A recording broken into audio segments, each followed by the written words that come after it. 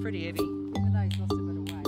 I got the fork and jabbed into it and hoiked it out of the ground and holy snapping turtle teeth. What's going on here? I thought, what is it?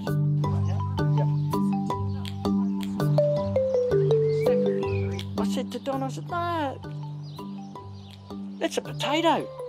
And she went, no. I said, yeah, it is.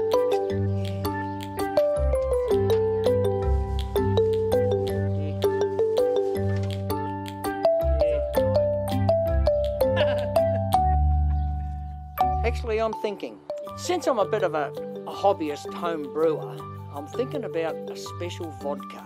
You're too special.